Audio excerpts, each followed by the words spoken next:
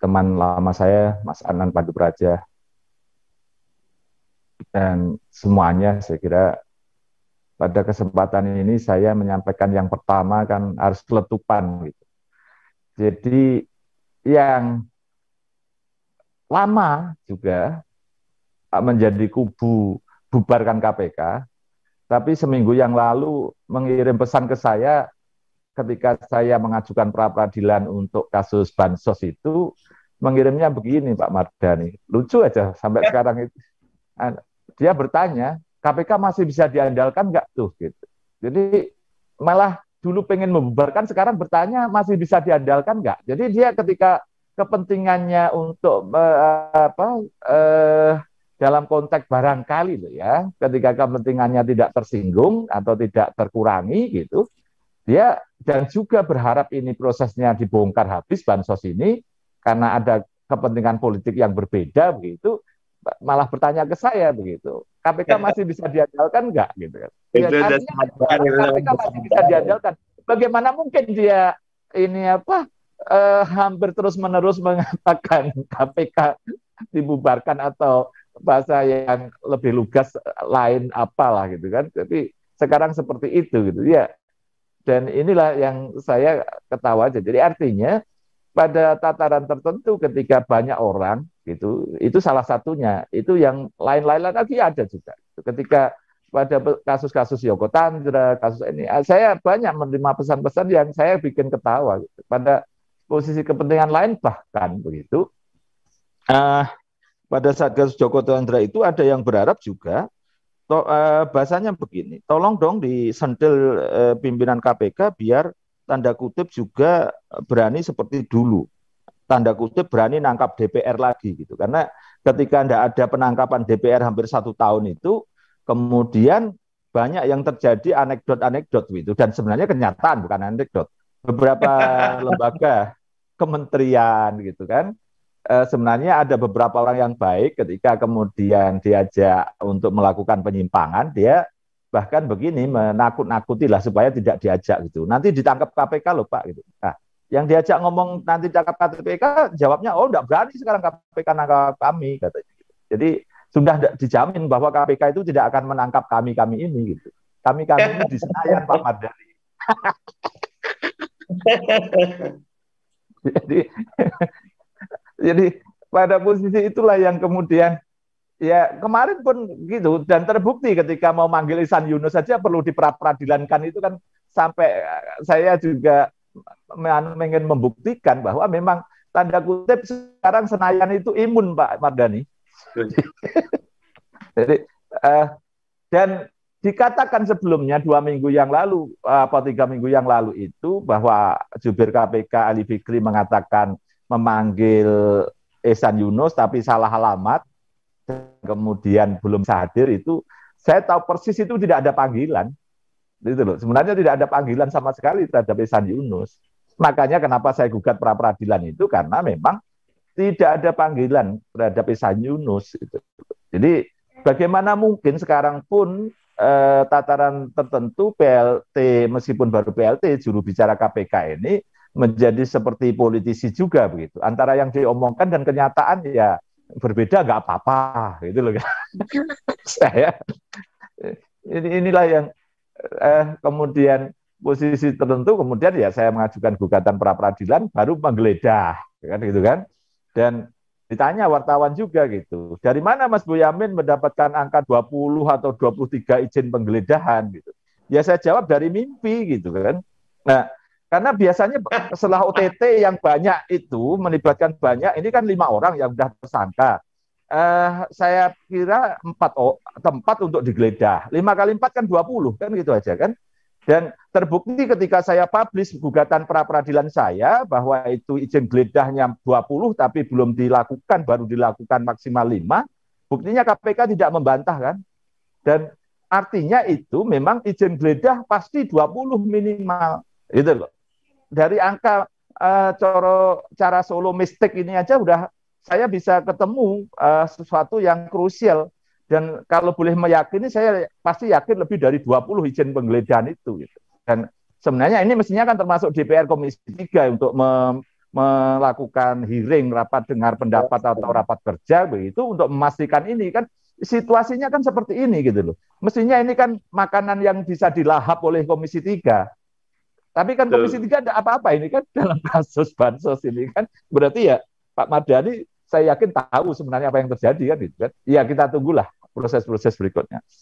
Nah, dari sisi ini saya ingin mengatakan juga kalau Pak Ragus Rasio tadi di awal sebelum dibuka itu nyendil tahu banyak itu kan eh, apa saya tahu banyak ya memang terpaksa saya tahu banyak bagus jadi ya ya tapi bahwa ini kan eh, sesuatu yang terpaksa pun dulu saya itu hanya seperti menembak eh, istilahnya sporadis begitu ya agak sekarang agak sistemik seperti kemarin kasus Joko Chandra itu kan sebenarnya data sudah saya punya semua tapi Kenapa tidak saya laporkan ke KPK? Karena saya yakin kalau waktu itu saya laporkan ke KPK bulan Juli, bulan Agustus saya, saya laporkan KPK, pasti menghilang malahan. Saya yakin, saya yakin yakinnya. Kenapa tidak saya laporkan ke polisi dan kejaksaan agung juga karena memang saya tahu bahwa yang terlibat itu orang-orang sana kan gitu kan. Tapi kemudian saya mengimprovisasi datanglah ke ombudsman yang paling paling pertama kali gitu kan. Ombudsman karena mulai bergigi kan gitu kan berkaitan dengan eh, maladministrasi tapi bisa diimprovisasi ke mana-mana. Saya datang ke sana, saya publikasikan pada media waktu itu malah justru letupannya kan dari sana. Baru kemudian kepada DPR. Gitu. Nah, dengan strategi itu nampaknya kemudian eh, tanda kutip kebakaran jenggot dan polisi cepat kemudian memproses, kejaksaan juga memproses rebutan bahkan supaya tidak saling anu kena yang lebih apa lebih besar atau apalah kira-kira kan gitu kan. Nah, jadi gitu. Sesuai perkiraan saya, sudah kayak begitu saya kasih yang lebih besar ya tetap jadi penonton kan sampai sekarang. Lihat kalau yang keseluruhan ini saya serahkan KPK periode yang sekarang ini, saya yakin pasti hilang. Jadi dan sampai sekarang yang tentang kingmaker aja kan tidak pernah berani ngungkap gitu kan. Padahal sudah saya serahkan sepenuhnya kepada KPK, namanya, identitasnya, segala macamnya sudah saya gambarkan berdasarkan data dan bukti yang saya buat ada gitu kan yang saya bawa gitu dan itu jelas itu berdasarkan dokumen dan buktinya dokumen yang saya peroleh itu kemudian dijadikan bukti persidangan-persidangan yang terkait Pinangki, terkait dengan Joko Chandra, terkait dengan ini dan oleh hakim dinyatakan sebagai bukti petunjuk. Jadi artinya sudah hal yang sangat matang kalau memang mau makan itu untuk oleh KPK gitu. Masa saya harus kemarin membuat clue lagi gitu kan. Oh Kingmaker tuh ini loh uh, kira-kira penegak oknum penegak hukum yang jabatannya tinggi kan itu. Nah, mungkin saya tambah lagi klunya kalau di sini. Kingmaker itu kan raja, king itu kan Pak Mardani. King itu kan biasanya punya permaisuri, punya selir dan punya gude. Cari aja kira-kira yang dua clue tadi kira-kira nyambung ada enggak gitu. Terus clue ketiga clue ketiga raja-raja Jawa itu kan pasti memanipulasi asal usul dan lain sebagainya. Kenaro anak seorang uh, desa dan dia jadi perampok ketika jadi raja ngaku keturunannya dewa. Dan kemudian seterusnya seterusnya selalu ada manipulasi bahkan beberapa raja Jawa ternyata keturunannya lembu peteng. Lembu peteng itu kan dari proses perkawinan yang gelap kan gitu kan. Nah, clue yang ketiga seperti itu. Ada proses manipulasi asal usul, misalnya pendidikan atau asal usul, misalnya cari aja orang yang membuat umurnya lebih muda gitu. Ada di situ. Jadi kalau tiga itu dalam posisi suatu saat nanti terbuka gitu, kingmaker itu siapa, akan ketahuan semua dari tiga itu aja. Artinya yang pertama oknum penegak hukum yang jabatannya tinggi, terus kemudian punya Eh, manipulasi terkait dengan asal usul. Ketiga yaitu tadi punya permaisuri, punya selir dan punya gundik gitu kan. Nah, ini yang menarik sebenarnya tapi saya tidak ingin Pak Mardani dan Pak Agus dan Adnan dan Pak Rofi Gerung nanti jangan sampai saya jadi detektif urusan urusan selingkuh itu aja masalahnya cuma itu. jadi terpaksa saya ini kan harus menjadi membuat jenaka hal-hal yang terlalu berat begini kan gitu kan. Jadi itulah uh, juga berkaitan dengan Dewan Pengawas itu kan banyak dikritik dan dulu saya sebenarnya saya ingat persis sama Pak Antasari Azhar ke Komisi 3 itu sebenarnya kan Dewan Etik yang permanen. Kan tujuannya hanya itu aja. seperti di Mahkamah Konstitusi kan juga dibentuk Dewan Etik yang permanen. Nah, saya berharap juga begitu di di KPK itu ada Dewan Etik permanen yang tidak hanya sekelas pengawas internal itu. Sehingga kalau nanti pimpinan KPK itu ada yang perlu dijewer ya dijewer kan.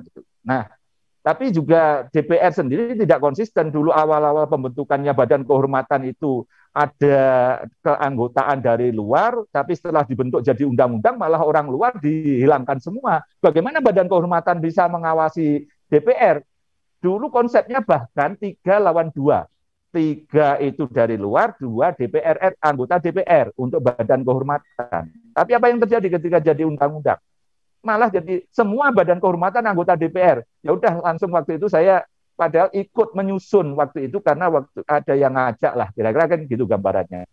Eh, bahkan peraturan pemerintah yang membuat badan kehormatan untuk DPRD yang tadinya konsepnya sudah bagus karena melibatkan orang luar, gara-gara undang-undangnya begitu maka kemudian peraturan pemerintah yang mengatur badan kehormatan DPRD ya menjadi hilang semua menjadi anggota DPRD tidak ada konsepsi bahwa badan kehormatan atau dewan etik ini adalah minimal orang luar lebih banyak dan bahkan mestinya seperti DKPP itu kan cuma dari KPU satu, dari Bawaslu satu, yang lain banyak kan dari orang luar. Artinya DKPP benar kan gitu kan. Nah, Dewan Etik KPK udah benar gitu kan. Nah, Dewan Pengawas ini sebenarnya kan memang niat Dewan Etik, tapi karena saya ini sudah terlanjur model cara orang Solo kira-kira memanfaatkan yang ada, maka Dewan Pengawas saya maksimalkan dalam konteks misalnya yang pertama karena saya waktu itu sudah uh, yakin suatu saat saya akan dapat data yang bagus gitu kan. Dan terbukti saya dapat data bagus tentang Pak Firly naik helikopter kan itu kan. Nah itu Dewan Pengawas saja belum duduknya belum tenang gitu kan sudah saya sodori itu dan kemudian mau tidak mau disidangkan. Dan kemudian saya manfaatkan kesempatan itu pada waktu sidang Dewan Pengawas itu eh, di hadapan Pak Firly sebagai terperiksa begitu. Kenapa saya harus lapor begitu? Tidak saya tutupi kira-kira kan gitu kan. Karena saya menganggap bahwa eh, Pak Firly waktu itu sudah terlalu banyak acara keluar eh, kunjungan sana sini dan tidak pernah ada substansi. Maka saya terpaksa saya membuka ini. Kalau Pak Firly ini produksinya bagus, excellent, ya saya pasti akan saya tutup gitu urusan ini. Dan itu tadi uh, kesalahan konsepsi kita itu ketika bicara seperti Anand tadi tentang konflik kepentingan, ternyata seorang Firly Bahuri aja tentang konflik kepentingan juga nampaknya nggak paham. Dia berdalih misalnya begini, waktu itu saya catat betul. Nah kan saya bayar-bayar sendiri helikopternya. Apa masalahnya? Gitu kan? Alasannya begitu. Seperti kenapa KPK tidak boleh golf gitu kan? Padahal golf kan yang bayar-bayar sendiri kan gitu kan? Nah tapi bahwa dia harus melakukan apa aja seperti orang kebingungan. Ini antara yang boleh mana dan yang tidak boleh mana. Nah dari inilah yang kemudian saya berpikir ya terpaksa harus saya sendelkan dan kemudian nanti ada sesuatu yang kira-kira bahasa tertentu nanti saya rubah begini. Uh, sebenarnya kadang-kadang supaya indeks prestasi uh, persepsi kita itu IPK kita itu tidak turun, jangan dikasih perkara kepada KPK karena nanti akan kelihatan belepotan dan rakyat semakin tidak percaya KPK gitu. Kalau teori saya Solo begitu Pak Mardan. seperti, seperti dalam kasus bansos ini kan menunjukkan betapa belepotannya begitu kan. Penggeledahan aja dilakukan setelah digugat gitu kan. Padahal izin penggeledahan dari Dewan Pengawas itu sudah ada sejak awal OTT. Jadi dan saya membaca KPK itu lebih mudah daripada polisi sama jaksa karena kadang-kadang uh, diriliskan. Nah, kan tidak pernah ada rilis untuk penggeledah kecuali dua kali itu aja. Dan kemudian tidak ada penggeledahan lagi. Berarti artinya izin penggeledahan yang diberikan Dewan Pengawas itu tidak ditindaklanjuti dengan surat perintah penggeledahan. Jadi penyidik pasti kesulitan untuk menggeledah juga atau penyidiknya juga tidak apa bisa jadi tidak mengusulkan untuk melaksanakan penggeledahan itu. Jadi ini kalau dibedah di audit itu begitu malah justru saya khawatir nanti masyarakat semakin tidak percaya pada KPK dan indeks prestasi persepsi kita itu akan semakin turun gitu loh Pak Jadi saya kadang-kadang masih ada batas ini saya teruskan atau tidak karena diteruskan nanti banyak borok yang dibuka gitu kan. Kalau kemudian borok dibuka nanti malah menjadikan uh, lembaga ini kan saya selalu, selalu begitu. Saya tidak pernah menyerang orang per orang tapi saya sistem kan itu kan. Nah, tapi ke sistem kadang-kadang juga membuat borok dan kemudian orang menjadi persepsinya jadi turun uh, negatif kan gitu kan. Jadi inilah per, uh, yang kemudian istilahnya gitu saya me, melakukan gerakan-gerakan pun saya masih menghitung secara cermat uh, manfaat dan madorotnya begitu. Tapi kalau kemudian saya uh, kira-kira kita biarkan begitu KPK, ya nanti lama-lama rakyat tahu juga gitu bahwa tidak ada prestasi, kinerja menurun dan tidak menember, uh, kalau bicara jangankan kinerja harian yang sifatnya parsial, yang sistemik pasti lebih tidak tahu lagi, tidak mampu apalagi kan itu kan. Tapi ya sudahlah. Uh, pada persoalan-persoalan yang ke depan misalnya begitu dari pelajaran waktu di kasus Joko Chandra nampaknya ini harus juga cara solo yang saya kemukakan waktu itu apa pun presiden kita ini Pak Jokowi dan mungkin masih empat tahun lagi begitu. Ya ketika saya kasus Joko Chandra itu selalu mendengungkan saya meminta Pak Presiden untuk mengurusi ini karena hanya presidenlah yang mampu mengurusi ini berkali-kali dan akhirnya saya tahu persis itu bagaimana uh, dilakukan komunikasi antara pemerintah Indonesia dan pemerintah Malaysia Muhyiddin Yassin waktu itu untuk kemudian membantu penangkapan Joko Chandra. Jadi sebenarnya Joko Chandra di sana sudah ditangkap. Jadi proses atau kepolisian datang ke sana ya tinggal ngambil gitu. Dan nampaknya malah pada posisi tertentu menjadi sebuah dianggap prestasi itu kemudian kabar eskrim naik jadi Kapolri. Dan kalau begitu pun karena saya politisi orde baru saya nganggap halal aja, boleh-boleh aja yang namanya ini apa kegiatan apa pun dianggap dianggap prestasi boleh kan itu kan.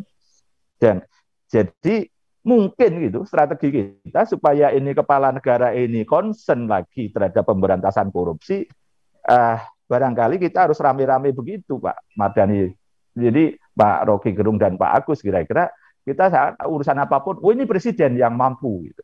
Dan kita berharap presiden yang mampu gitu. Dan meminta presiden turun tangan gitu. Dan jadi nampaknya ini kan uh, sesuatu yang harus diberikan applause gitu supaya bergerak. Daripada kita mencaci semakin apa pun dalam konteks apa pun itu justru malah melakukan tidak melakukan apa-apa semakin menarik diri ya cobalah uh, saya karena itu sudah berhasil ketika Joko Chandra saya bunyikan terus gitu seperti itu tadi ya maka kira-kira ya nanti bolehlah yang cara lain tapi saya mencoba dengan cara itu bahwa semua hal ini nanti akan beres, akan sukses kalau presiden turun tangan.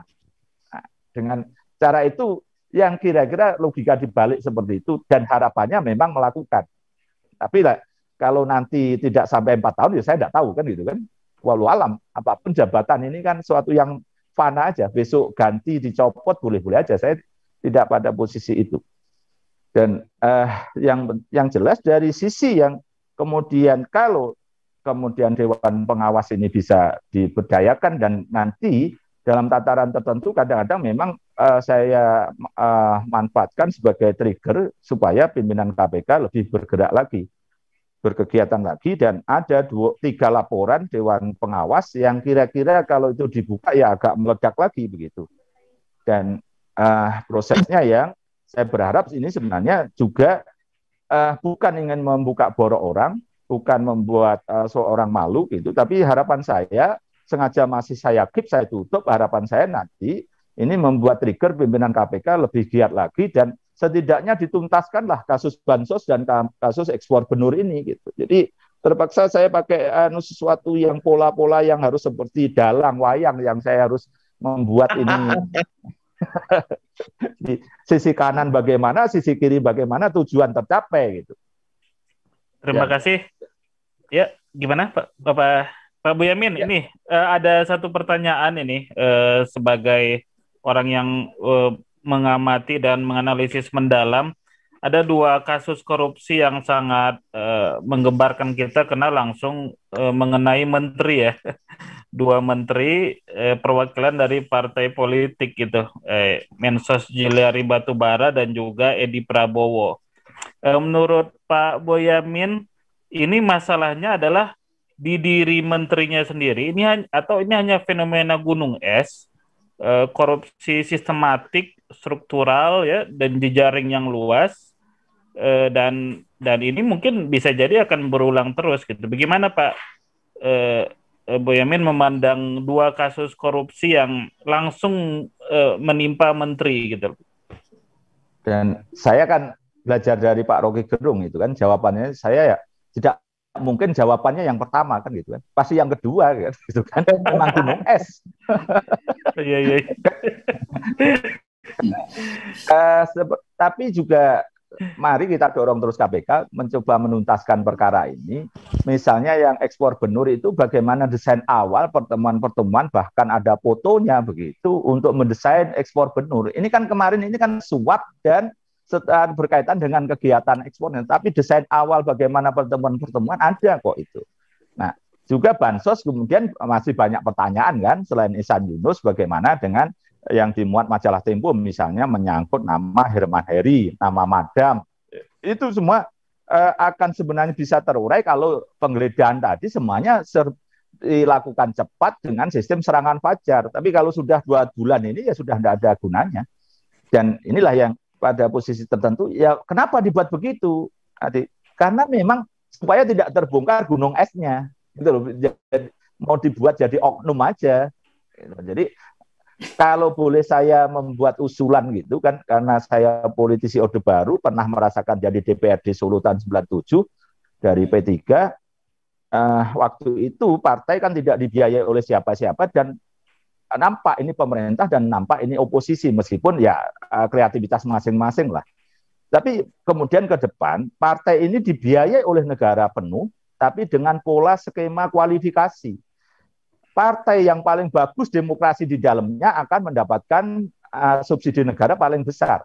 Tapi kalau partai yang ada oligopoli, ada monopoli di situ, yang bisa jadi ketua umum hanya itu, dan kemudian model pemecatan dan lain sebagainya, seperti yang uh, seperti otoriter, maka semakin kecil dan dan kalau perlu uh, ranking paling bawah juga tidak dibiayai oleh negara. Misalnya meskipun partainya besar tapi terjadi sistem stagnasi demokrasi di dalamnya.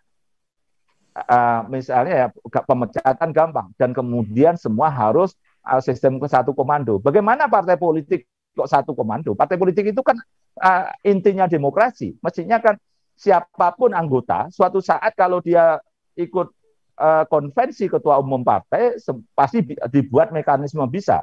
Soal menang kalah itu nanti kan gitu kan. Nah, itulah ukuran-ukuran partai politik yang harusnya sebagai ruhnya demokrasi dibuat demokrasi lebih dulu. Dan itu yang paling saya dambakan dan ini uh, saya belum pernah dengar deh dari orang-orang pentolan partai menyuarakan ini. Dan itulah yang saya berharap betul bisa di, dilakukan. Masih. Baik, terima kasih eh, Pak Boyamin luar biasa pemaparan dan ulasannya. Sekarang ke Pak Boyamin dipersilakan Pak closing statement.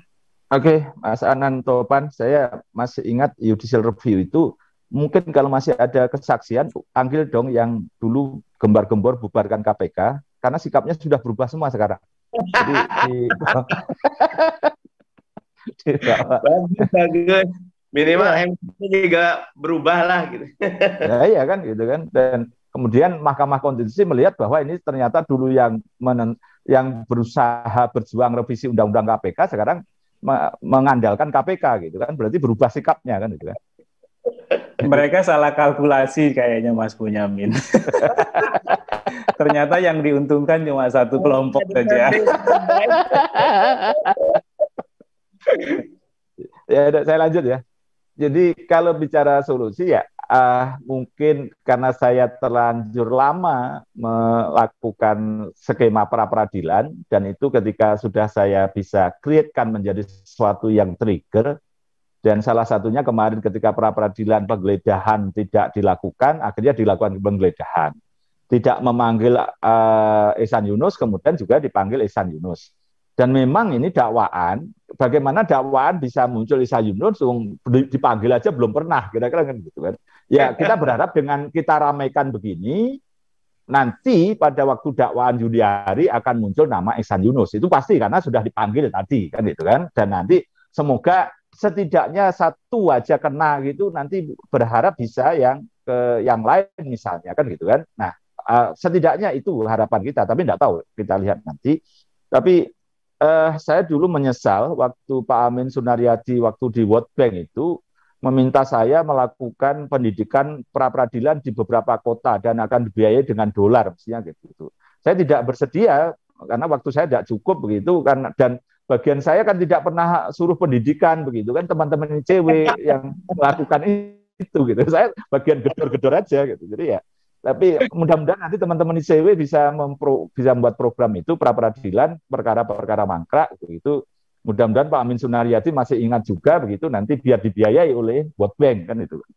Jadi itu yang saya berharap dan uh, kemudian ini uh, bukan harus saya melakukan seperti contoh begitu, tapi saya berharap ke depan ini mulai sekarang teman-teman DPR yang masih punya idealisme, teman-teman yang pegawai yang punya idealisme segala macam, ketika uh, mendapatkan pemberian dipublish dan diserahkan pada KPK. Pak Mardani saya yakin banyak yang nawari. Kadang-kadang uh, lebih banyak ditolaknya saya yakin gitu. Tapi saya berharap besok lagi diterima aja Pak Mardani dan diserahkan KPK. Jadi harus ada kampanye bahwa kita masih punya tataran etik bahwa eh, penolakan terhadap sesuatu pemberian yang tidak layak, tidak semestinya itu kemudian kita publikasikan gitu. Jadi saya berharap betul itu Pak Mardani dan teman-teman di DPR melakukan sesuatu yang sifatnya ya memberikan contoh untuk menolak uh, sesuatu pemberian gitu. Jadi jangan kemudian ditolak. Saya dulu juga saya tolak satu juta US dollar zaman EKTP saya tolak.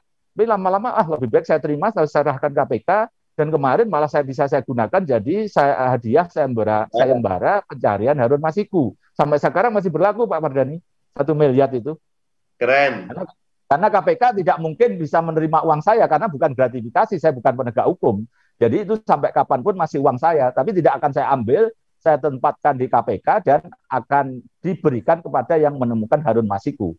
Nah, itu eh, sampai kapan pun gitu. Jadi ini trigger-trigger kecil ini kadang-kadang rakyat lebih mengena Pak Mardani gitu. Jadi eh, kadang-kadang kita kalau ngomongnya terlalu tinggi-tinggi kadang-kadang ya ah ngomong apa tinggi-tinggi? Tapi sesuatu contoh yang kecil begini yang kadang-kadang malah lebih mengena dan eh, berharap kemudian ke depannya juga uh, bisa lebih banyak orang begitu. Dan mestinya ini uh, dulu gratifikasi KPK itu mengumumkan berapa orang berapa orang. Ya diumumkan lagi mestinya kita dorong untuk itu. Dan saya apa pun setuju Pak Agus Rajo KPK memang tetap harus ada kita berdayakan lagi dengan segala hal ya Pak Agus Rajo punya pengalaman bagaimana nah uh, saya masih ingat ini tadi yang harus saya sampaikan kelupaan sistem yang dibangun sekarang kepemimpinan KPK itu sistem presidensial Pak Agus Rarjo.